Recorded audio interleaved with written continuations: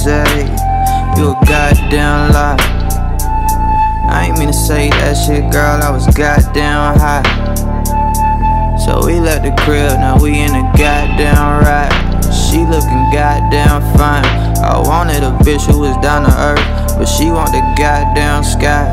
Uh, list of my problems. Got that one on my line that won't stop fucking calling. It's crazy how I made her that way.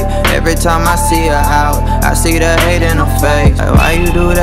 Tell her you love her when next week you just want your space. Why you do, why you do that? Tell her you want her, but next week you do your own thing. Why you do, why you do that? I can't explain it, but just know it working for me. She text me, I hate you, I hate you, I hate you, I hate you, but how the fuck can you hate me? When I ain't did shit, but be the real thing. She know I'm the real, that'll never change. I never been the one to try to explain why you catch them feels. I'ma sip on this drink, it's easing my brain.